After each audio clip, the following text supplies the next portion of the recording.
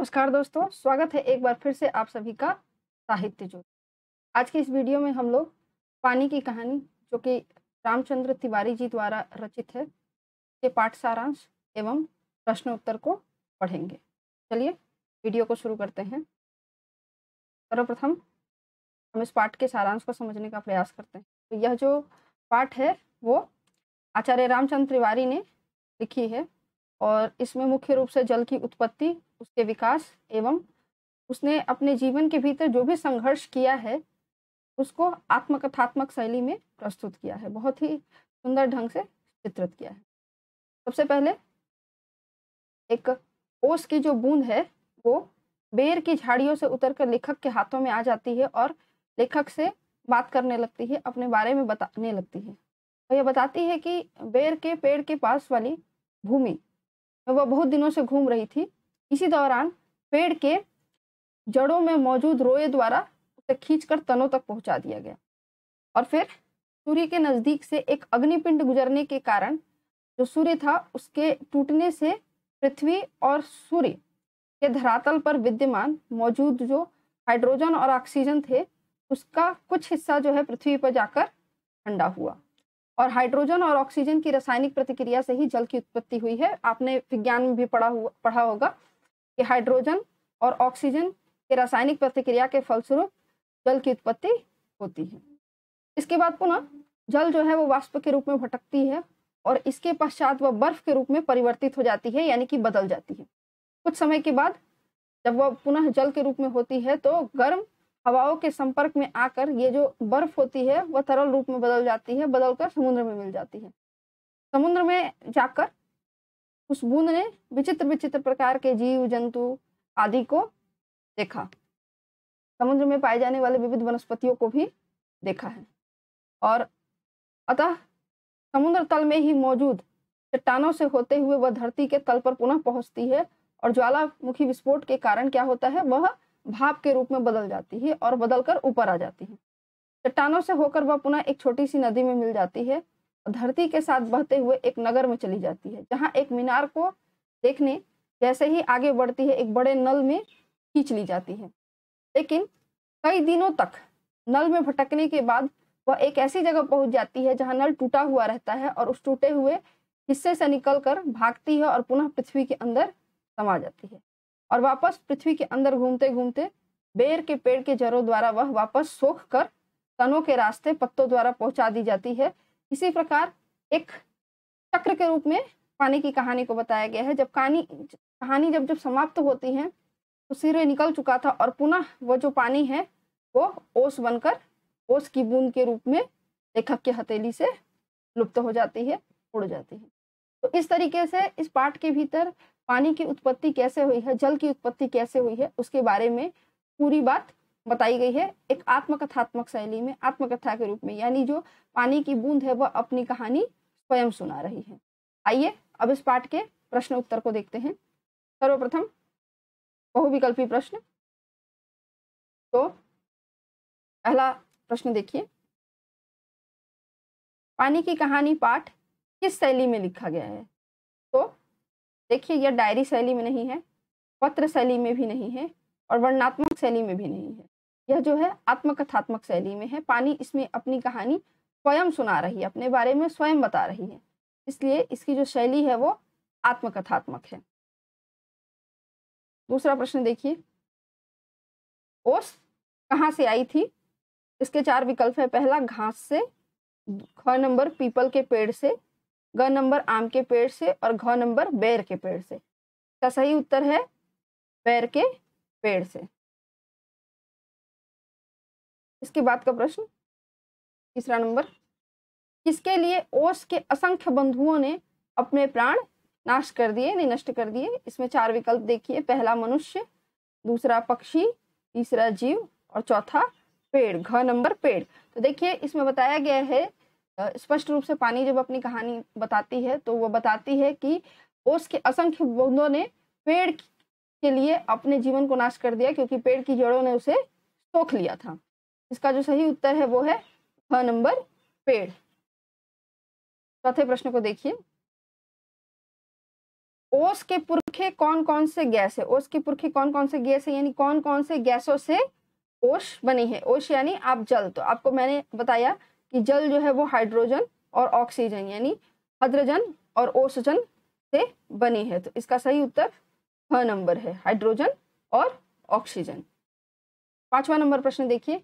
पृथ्वी प्रारंभ में कैसा गोला थी? चार विकल्प। पहला, लोहे का। दूसरा, तांबे का। तीसरा, मिट्टी का। और चौथा, आग का। तो आपको पता ही है, प्रारंभ में पृथ्वी जो है वो आग का गोला थी, क्योंकि सूर्य से ही टूटकर निकली हुई थी। आइए, अब हम इसके अगुतरीय प्रश्न को देखते हैं। पहला प्रश्न क्रोध और घृणा से कौन काप उठी? तो देखिए, ओस की बूंद जो है, वो ओस की जो बूंद है, वो क्रोध और घृणा से काप उठी। दूसरा प्रश्न, किसके शरीर से चमक निकलती थी? किसके शरीर से? एक सेकंड, माफ़ कीजिएगा। जी, आइए।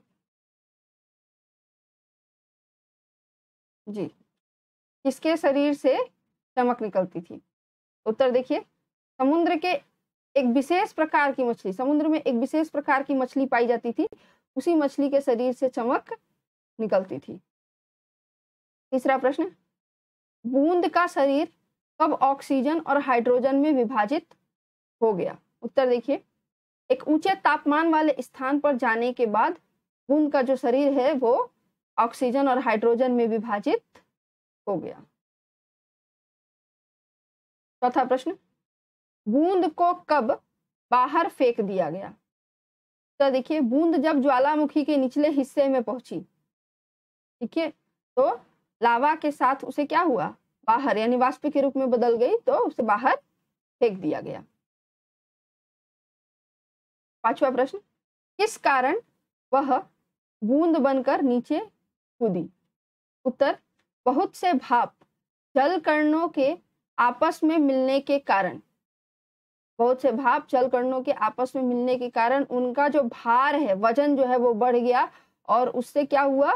वो बूंद बनकर नीचे कूद पड़ी। आपको पता ही है, ये विज्ञान के भीतर आता है कि जब बहुत से भाप बन जाते हैं और उनमें एक भार आ जाता है तो फिर वह बूंद के रूप में परिणित हो जाते हैं। तो उसी चीज़ को यहाँ पर बतलाया गया है। के बाद छठा नंबर प्रश्न। पहा, पहाड़ों के पत्थरों का रेत रूप कैसे बना है? ठीक है पहाड़ों का पत्थरों का जो है वो रेत रूप कैसे बना है? तो देखिए ये रेत रूप यानी मिट्टी के रूप में वो कैसे परिवर्तित हुई है? तो पानी के बूंदों के पहाड़ों पर कूद कूद कर यानी पानी के जो बूंद है वो पहाड़ों पर प्रहार करने से क्या हुआ है? पहाड़ों की जो चट्टाने हैं वो टूट गई हैं और चट्टानों के टूट फूटने से वह रेत यानी मिट्टी के रूप में बदल गई है। के बाद बोधमूलक प्रश्न। देखिए बच्चों, अक्सर बच्चों का कमेंट आता है कि मैम प्रश्न के उत्तर बहुत बड़े हैं, इसे छोटे कर दीजिए। कई बार जो प्रश्न के उत्तर होते हैं, उसे छोटे करने से क्या होता है, उसका जो सही उत्तर है, वह नहीं बन पाता है। कहीं ना कहीं ऐसा लगता है कि टू द पॉइंट आंसर नहीं दे पा रहे हैं। इसलिए कुछ प्रश्नों के उत्तर थोड़े बड़े होते ही हैं। आपको यह बात समझनी होगी और उसी के अनुरूप तैयारी करनी होगी। तो देखिए, पानी का जन्म कैसे हुआ था? उत्तर देखिए, बहुत पहले किसी बृहद बृहद यानी बहुत बड़ा प्रकाश पिंड के सूर्य के करीब से गुजरने के कारण सूर्य का हिस्सा टूटकर अलग हो जाता है और जिसमें से एक हिस्सा हमारी पृथ्वी भी रहती है। इस पृथ्वी के साथ ही हाइड्रोजन और ऑक्सीजन के कुछ भाग सूर्य से दूर चले जाते हैं। अरबों वर्षों तक ठंडा होने के बाद ऑक्सीजन और हाइड्रोजन आपस में रासायनिक प्रतिक्रिया करते हैं, जिसके फलस्वरूप ही जल का जन्म होता है। ठीक है तो यहाँ पर भी वही बात बताई गई है कि हाइड्रोजन और ऑक्सीजन की रासायनिक प्रतिक्रिया होने से जो है वो जल का जन्म हुआ है। दूसरा प्रश्न, प्रारंभ में पानी का शरीर का रूप कैसा था? पानी के शरीर का रूप कैसा था और फिर बाद में कैसा होता गया? क्रमश कैसा हो गया? उत्तर देखिए, आरंभ में पानी जो थी वो पृथ्वी के ओर, चारों ओर जो है वो वाष्प के रूप में यानी भाप के रूप में भटक रही थी और इसके बाद वह बर्फ़ के रूप में बदल गई। और फिर ज्वालामुखी के विस्फोट के साथ ही ऊपर की ओर जल कणों के रूप में बादल का निर्माण करने लगी। जल कणों की अधिकता के कारण, जब जल कर्ण बहुत ज़्यादा हो गए तो बरसात के बूंदों के रूप में धरती पर पुनः पहुँच गई, धरती पर बूंदों के रूप में गिरने लगी। तीसरा प्रश्न देखिए। बूंद ने समुद्र के भीतर क्या क्या देखा? उत्तर है कि बूंद ने समुद्र के भीतर विचित्र विचित्र प्रकार के जीव जंतु को देखा। जैसे एकदम धीरे धीरे रेंगने वाला घोंघा, जालीदार मछलियाँ, कई कई मन भारी कछुए, हाथी वाली मछलियाँ, हाथों वाली मछलियाँ, ठीक है? तो इसके अलावा ऑक्टोपस भी देखा था। चौथा नंबर प्रश्न देखते हैं, आइए। ज्वालामुखी किसे कहते हैं? तो देखिए, ज्वालामुखी पृथ्वी की ऊपरी सतह पर उपस्थित एक ऐसी दरार या मुख है जिसके भीतर से निकलने वाला लावा, गैस धूलकर्ण वाष्प, राख आदि शंकु के आकार में जमा होते रहने से ज्वालामुखी पर्वत का निर्माण होता है। ठीक है? पांचवा नंबर प्रश्न देखिए। पहाड़ से गिर सरिता, यानी नदी बन, वह क्या करती है और कहाँ पहुँचती है?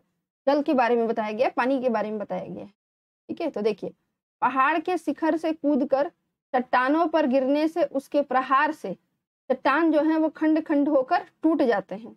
और फिर नदी के रूप में बहते हुए नदी के साथ ही वह नगर में पहुँचते हैं। वहाँ पहुँचते ही वह एक जल में, नल में, माफ़ कीजिएगा, नल में खींच लिए जाते हैं और अंततः भटकते हुए एक ऐसे स्थान पर पहुँचती है जहाँ पर नल टूटा होता है और उसी टूटे हुए रास्ते से बाहर निकलकर वह पुनः पृथ्वी में, पृथ्वी के भीतर समा जाती है। ठीक है? तो यहाँ पर हमारा लघुतरीय और भाषा बोध दोनों खत्म लघुतरीय और बोध मूलक दोनों खत्म होता है। अब हम लोग इस पाठ से संबंधित जो भाषा बोध के प्रश्न हैं, वो करना चालू करेंगे। तो इसमें सबसे पहले बताया गया है कि तत्सम शब्द किसे कहते हैं? ये पाठ के भीतर भी है कि संस्कृत के वे शब्द जिनका प्रयोग हिंदी में वैसे ही किया जाता है, यानी जैसे वो संस्कृत में थे तो उसे ही हम तत्सम कहते हैं। जैसे दुग्ध, दधि, अग्नि, वर्षा, ये शब्द संस्कृत में भी वैसे ही हैं और हिंदी में भी इनका प्रयोग ज्यों का त्योग किया जाता है। इस तरह के शब्दों को हम लोग तत्सम शब्द कहते हैं। ना आइए तद्भव शब्द को देखते हैं। ऐसे शब्द जिनका प्रयोग हिंदी में बदल कर यानी संस्कृत से हिंदी में उनका रूप बदल जाता है बदल कर प्रयोग किया जाता है, इसे ही हम तद्भव शब्द कहते हैं। जैसे कि आपने यहाँ पर एक शब्द पढ़ा था, दुग्ध। ठीक है? यहाँ पर आपने पढ़ा था दुग्ध। दुग्ध का बदला हुआ रूप क्या है? दूध। दही। तत्सम में दही है तो वही शब्द तद्भव में क्या बन गया है? दही। दधी, दही। तत्सम में अग्नि शब्द है तो तद्भव में वही रूप बदलकर बन गया है आग। वर्षा कब? तद्भव रूप क्या है? बारिश। इस इस तरीके से आप समझ सकते हैं कि संस्कृत के वे शब्द जो हिंदी में ज्यों के त्यों उसी रूप में प्रयोग किए जाते हैं। उसे ही हम तत्सम कहते हैं। तथा वे शब्द जो जिनका रूप बदल जाता है, संस्कृत से जब वो हिंदी में आते हैं तो उनका रूप बदल जाता है, उन्हें हम तद्भव शब्द कहते हैं। ठीक है? अब हमें करना क्या है कि ये जो निम्नलिखित शब्द दिए गए हैं, ठीक है? यहाँ पर ये जो कुछ शब्द दिए गए हैं, इन शब्दों का, इन शब्दों में से कौन से तत्सम शब्द हैं और कौन से तद्भव शब्द हैं, हमें उन्हें पलट हमें उन्हें जो है, हा? लिखना है। ठीक है? तो आइए, सबसे पहले हम क्या करते हैं? यहाँ पर हेडिंग दे डालते हैं। सबसे पहले तत्सम, ठीक है? तत्सम शब्द में सबसे पहले आइए हम लोग देखते हैं तत्सम, और उसके बाद यहाँ हेडिंग दे डालते हैं तद्भव, ठीक है? सबसे पहला है मोती। मोती कौन सा शब्द है? मोती आपका आएगा तद्भव में, ठीक है? इसके बाद उज्जवल। उज्जवल कौन सा शब्द है? ये आपका आएगा तत्सम में। उज्जवल। इसके बाद हाथ। तद्भव। कार्य। तत्सम। दृश्य। तत्सम। खेद।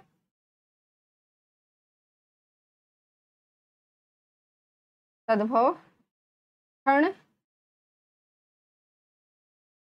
तत्सम पत्थर तद्भव के बाद मुँह मुँह आपका तद्भव कार्य कार्य आपका आ जाएगा कार्य तो दे दिया है दोबारा क्यों कार्य आपका हो चुका है? धुआँ धुआँ शब्द जो है वो आपका आएगा सद्भव में। धुआँ तद्भव में। पुरखे। तद्भव में। भूमि। तत्सम। प्रत्यक्ष और मनुष्य। प्रत्यक्ष तत्सम शब्द है और मनुष्य भी तत्सम शब्द है। ठीक है? यहाँ पर मैंने आपको बता दिया कि कौन से तत्सम शब्द हैं और कौन से तद्भव शब्द हैं। आइए अब हम दूसरा देखते हैं। क्या कहा गया है कि जो शब्द किसी संज्ञा या सर्वनाम की विशेषता बताते हैं, उन्हें हम विशेषण कहते हैं, जैसे दयालु, भारतीय, सुंदर। तो आपको सबसे पहले ये समझने की ज़रूरत है कि विशेषण किसे कहते हैं। ठीक है? वे शब्द जो संज्ञा या सर्वनाम की विशेषता बताते हैं। मान लीजिए, अगर मैं कहती हूँ, मोटा आदमी। आदमी क्या है? संज्ञा है। अब उसकी विशेषता क्या है कि वो मोटा है? इसे हम विशेषण कहेंगे। ठीक है? अगर मैं कहती हूँ, लाल पतंग तो पतंग क्या है? संज्ञा है। और उसकी विशेषता क्या है कि वो लाल रंग का है? तो संज्ञा या सर्वनाम की जो विशेषता बतलाते हैं, खासियत बतलाते हैं, उसे हम क्या कहते हैं? विशेषण कहते हैं।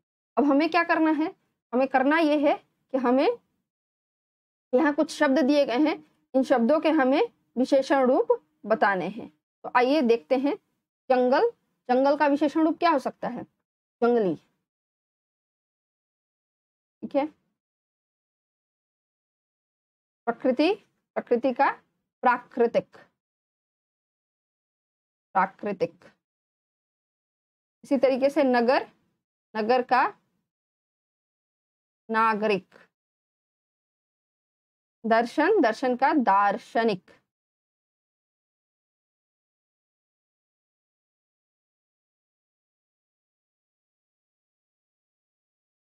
के बाद श्रद्धा श्रद्धा का श्रद्धालु। एक सेकंड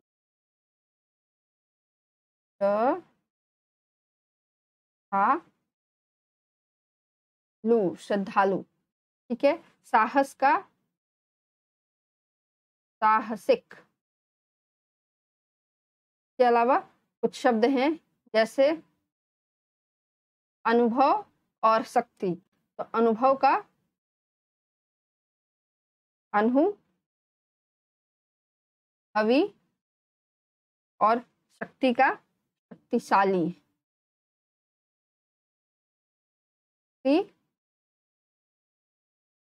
शक्तिशाली ठीक है, ये वाला हो गया। अब आइए। निम्नलिखित शब्द युग्मों को वाक्य में प्रयोग कीजिए। यहाँ पर शब्द युग्म कुछ दिए गए हैं, जैसे इधर उधर, इनको वाक्य में प्रयोग करना है। तो आप लिख सकते हैं, आप स्वयं भी ये लिख सकते हैं। ऐसा वाक्य बनाना है जिसमें ये सारे शब्द हो। तो इधर उधर, मोहन इधर उधर घूम रहा था। या फिर आप लिख सकते हैं बाग में फूल। बाग में फूल ही बाग में फूल इधर उधर।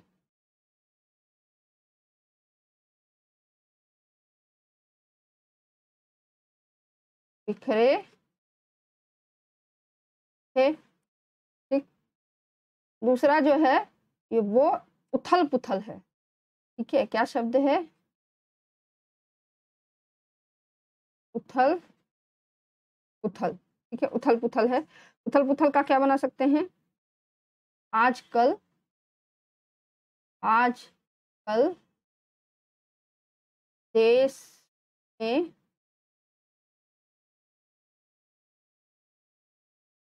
उथल उथल, मच्छी है, ठीक है? यहाँ पर है, बाधा नहीं होगा। ये सब लिखने में थोड़ी सी गलती हो गई है। बंधु बांधव बंधु बांधव, ये शब्द है, ठीक है? इसका क्या होगा? कल मैं अपने बंधु बांधवों के साथ पिकनिक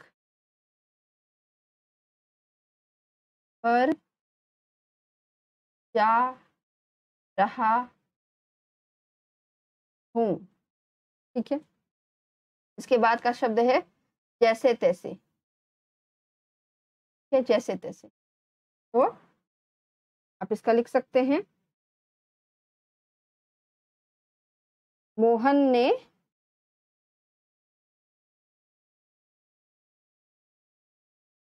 मोहन ने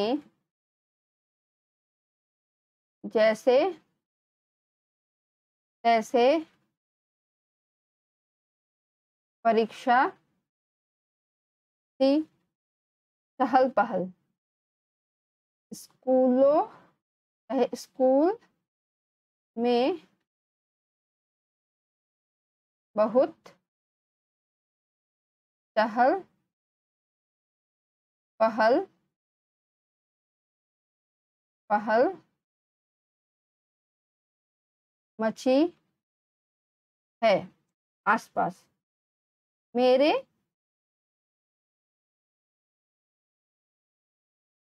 आस पास अच्छे लोग रहते हैं। मैली कुचैली। हमें मैली। उचैली कपड़े।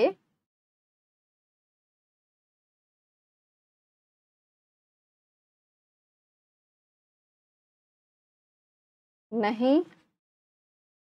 पहनने चाहिए। लाल पीला। उसका चेहरा गुस्से से लाल पीला हो गया। उछलने कूदने ठीक है?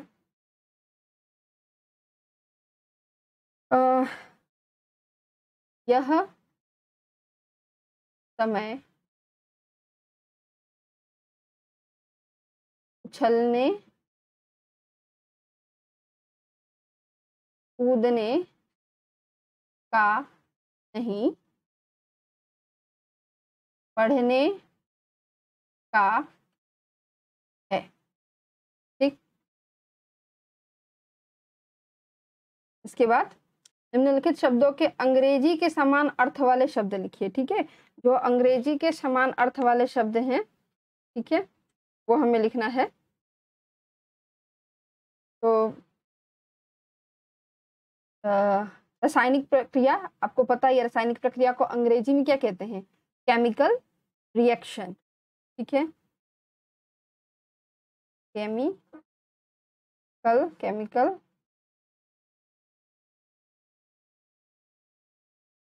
reaction.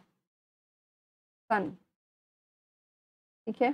के बाद दुर्घटना को क्या बोलते हैं? आपको पता ही है, एक्सीडेंट। हम लोग रोज़मर्रा के जीवन में एक्सीडेंट शब्द का इस्तेमाल करते हैं। ठीक है? इसके बाद तापक्रम टेम्परेचर टेम्परेचर धन्यवाद। थैंक्स के अलावा?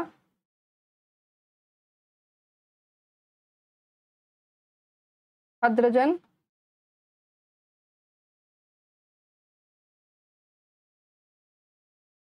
हाइड्रोजन?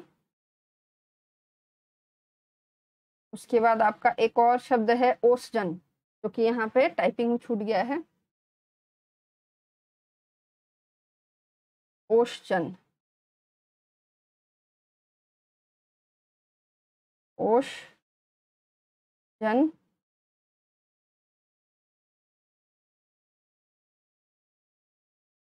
ऑक्सीजन ठीक है? तो यहाँ पर ये शब्द खत्म हो रहे हैं और यह वीडियो भी खत्म हो रही है। आशा है कि यह वीडियो आप लोगों के लिए काफ़ी उपयोगी होगी एवं इससे आपको लाभ अवश्य पहुंचेगा। वीडियो को लाइक करना, चैनल को सब्सक्राइब करना और कमेंट करना ना भूलें। आपके कमेंटों से ही हमें पता चलता है कि हमें कौन सा वीडियो डालना है जो बच्चों के लिए बहुत ज़्यादा उपयोगी रहेगा। इसी के साथ, धन्यवाद।